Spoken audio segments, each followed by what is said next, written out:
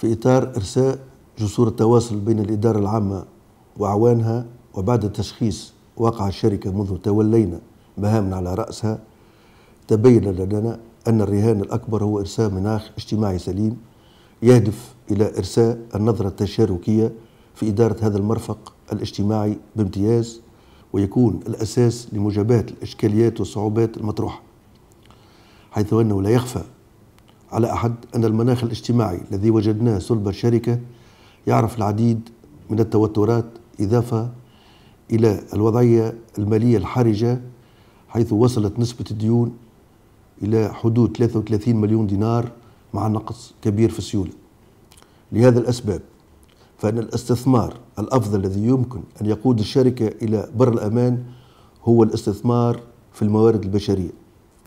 وبناء عليه فإني وعبر هذا الشريط أدعو جميع الإطارات والأعوان كل من موقعه إلى مزيد العمل بحرفية واتقان وتجاوز كل الخلافات الشخصية للنهوض بهذه الشركة العريقة التي أنجبت رجالات مثل الزعيم فرحات حشاد وساهمت في تكوين نخبة من الإطارات العليا بالبلاد.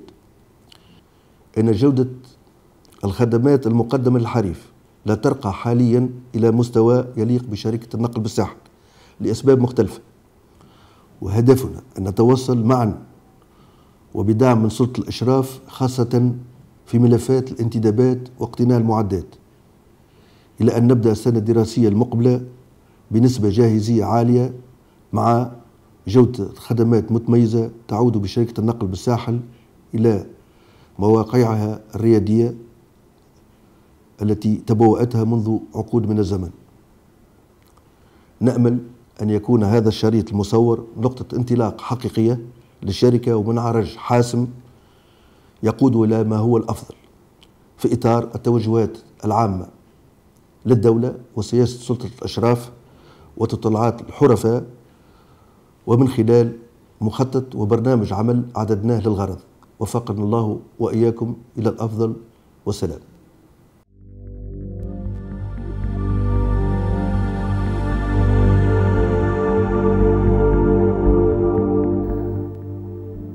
صور تتعاقب وتخلد تاريخا نحتته شركة النقل بالساحل عبر مرور الزمن.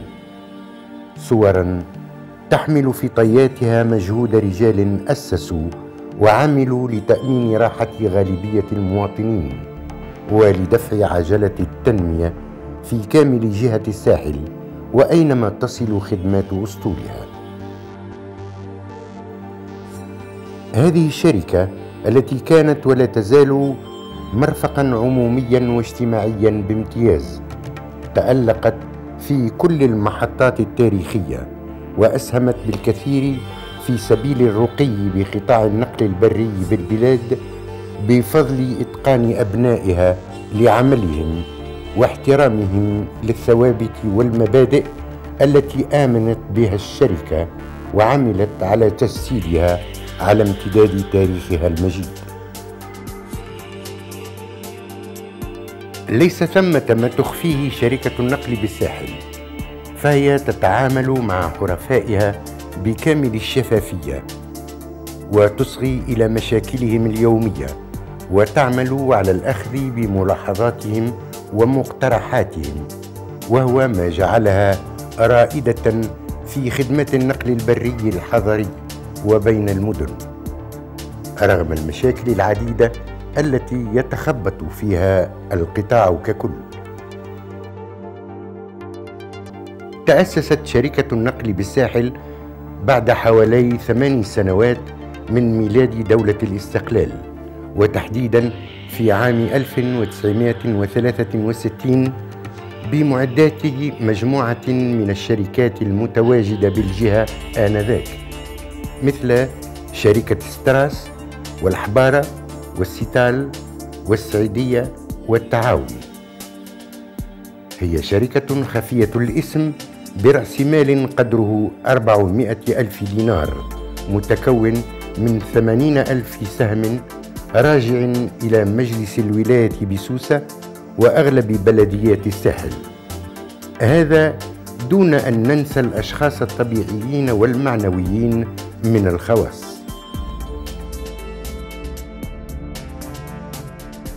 وتغطي الشركة ولايات الساحل الثلاث سوسة المنستير والمهدية.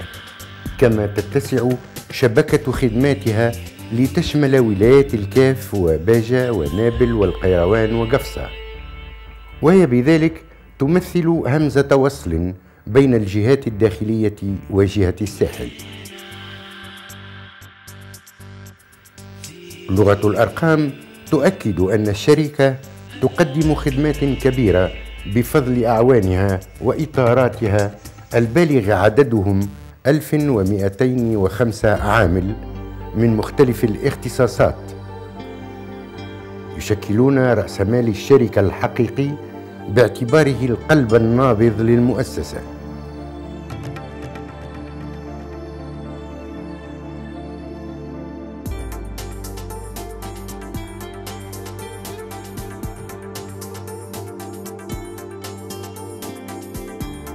لذلك فقد أولت الشركة أهمية كبرى بالجانب الاجتماعي وتقديم الخدمات الصحية لفائدة العمال من خلال منظومة التأمين على المرض وتوزيع الإعانات المدرسية على أبنائهم وتمتيعهم بمنح مدرسية ترافقهم إلى مرحلة التعليم العالي وتكريم الأعوان المحالين على شرف المهنة.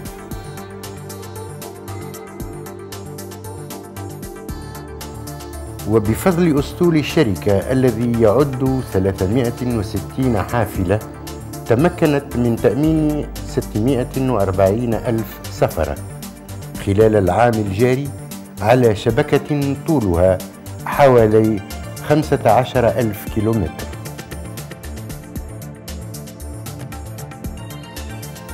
وقد قطع أسطول الشركة في عام واحد 20 مليون كيلومتر وتم نقل 89 مليون مسافر منهم 60 مليون من صفوف التلاميذ.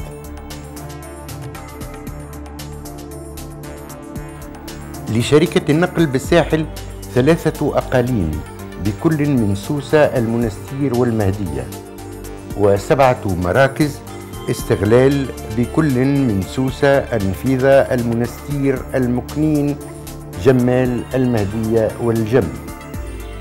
وتنضوي كلها تحت مقرها الاجتماعي بمدينة سوسة بالإضافة إلى الورشات التي تقوم بمجهودات جبارة على مستوى صيانة المعدات.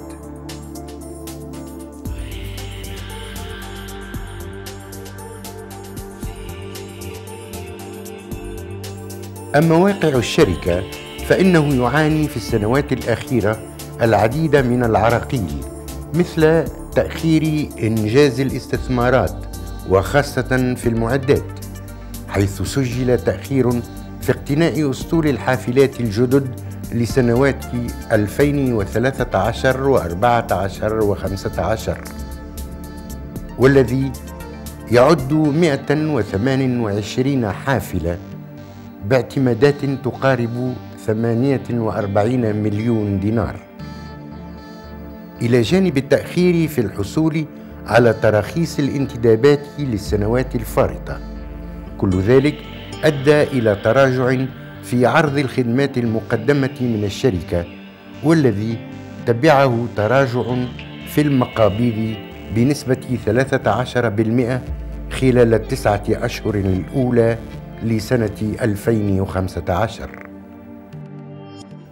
ورغم المشاكل والعراقيل التي تعاني منها شركة النقل بالساحل بسبب الظروف الاستثنائية التي تعيشها بلادنا ككل فإن الإدارة العامة الجديدة كلها عزم وإصرار على تجاوز العقبات الموجودة بمزيد تنقية المناخ الاجتماعي ودعم العمل التشاركي مع الأطراف الاجتماعية للشركة اقتناعا منها أن هناك الكثير مما يجب انجازه لبلوغ الأهداف المرجوة والتي تسعى شركة النقل بالساحل لتحقيقها. ووضعت لذلك برنامجا عمليا سينفذ على الأمدين المتوسط والبعيد يرتكز بالأساس على الاستثمار في الموارد البشرية والتنسيق مع سلطة الإشراف خاصة في ملفات اقتناء المعدات وانتداب الأعوان. إن الهيكلة الإدارية المنظمة والخاضعة لمعايير علمية يبقى هدفا سيضمن نجاح هذه الشركة وإن تحسين الجودة يبقى الرهان الأكبر إذا ما توفرت الشروط لذلك.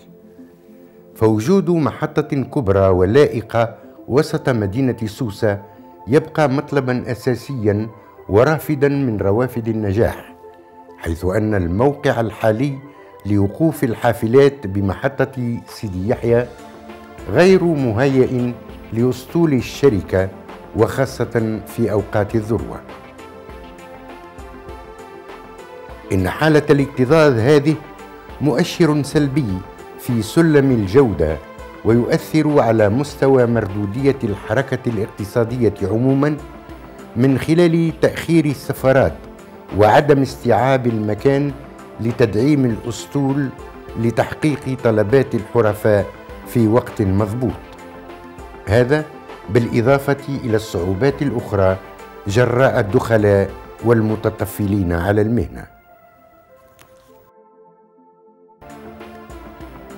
إن خطر هذه الظاهرة لا يمس ولا يعني فقط شركة النقل بالساحل بقدر ما يعني كل الأطراف الأخرى من سلة محلية ومواطنين للحفاظ على المظهر العام لجهة الساحل بأكملها والتي تمثل وجهة كل السياح نظرا لما تتمتع به هذه الجهة من جمالية ورونق.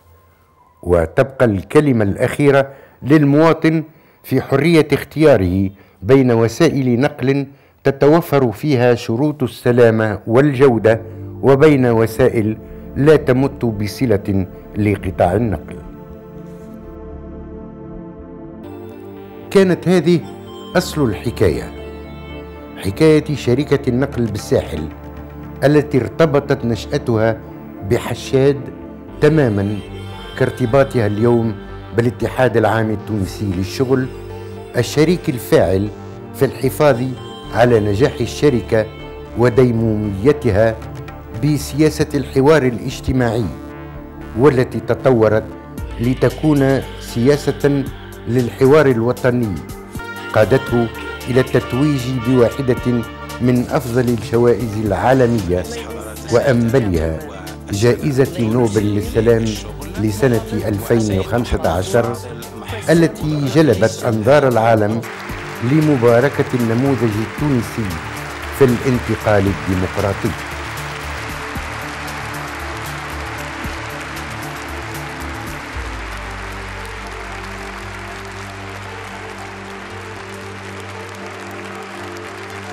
على هذا النهج أيضا تواصل شركة النقل بالساحل مسيرتها الرائدة شعارها الصدق والإخلاص والوفاء لأبنائها ممن احيلوا على شرف المهنة أو ممن غيبهم الموت.